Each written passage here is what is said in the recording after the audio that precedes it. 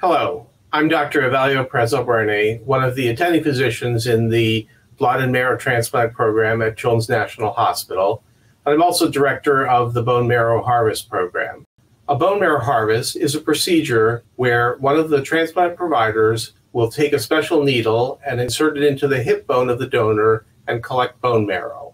The procedure for the bone marrow harvest is that the donor will visit our clinic a few weeks before the procedure, where one of the providers will take a medical history and do a physical exam and do some laboratory testing to make sure that it is safe for that person to donate, both for the donor and the recipient. On the day of the procedure, the donor will come into the ambulatory surgery area and they will be put under sedation and then taken to the operating room where the special needle that I mentioned before will be used to collect the bone marrow. After the procedure is complete, they will go to the recovery area and after they are sufficiently awake, will be able to go home. The risks involved with a marrow procedure are small.